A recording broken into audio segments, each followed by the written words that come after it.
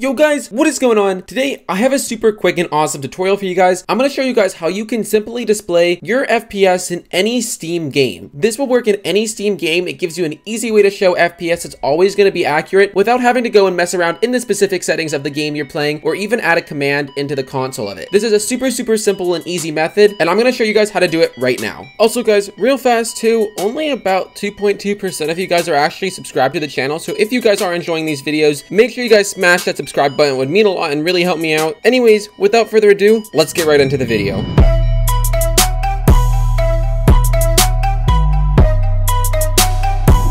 Now, like I said, this will work in any game, so disregard the fact that I'm playing this on CSGO, for example, but all you have to do to show the FPS is go ahead and click Tab and Shift together to open up your Steam control panel, and most of your guys' control panels should pretty much look this way, but if you come down to the very bottom, you're gonna see where it says Settings. If you click Settings, it's gonna open up this window, and if you come up to the top bar here and click In-Game, you're gonna see all these options appear. One of these options is In-Game FPS Counter, and if we select this bar, that should be default to off, you can see that there's a drop-down menu that will let you choose choose where you want your FPS to be displayed on all four corners of your screen. For example, today I'm going to do it in the top left, and I'm just simply going to click top left here. That's all you have to do. If you want to turn on high contrast color to make it a little bit more visible than it is currently, you can go ahead and click this. If your game offers it, I'm not today. I'm just going to turn on my FPS, and that's literally all you have to do. Now you just hit OK and shift tab again to get out of it. And now if you look at the top left hand corner of the screen, even though it is a little bit hard to see, go figure on the CSGO home screen, my FPS is there and it's currently counting. You guys can see that as soon as I switch off of the home screen, it becomes a lot more visible and you can clearly see the FPS up there in the top left hand corner. It is a little bit small, which can be kind of annoying, but it is an accurate number and it actually works really, really well if you just want a simple but very, very small FPS counter somewhere on your screen. Other than that though, that's pretty much it for this video, so uh, yeah. Anyway guys, thank you so much for watching this video. I hope you guys did enjoy and I hope I was able to help some of you guys out. So if I did,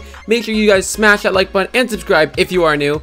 And uh, yeah, with that said, I'll see you guys all in the next video. Peace.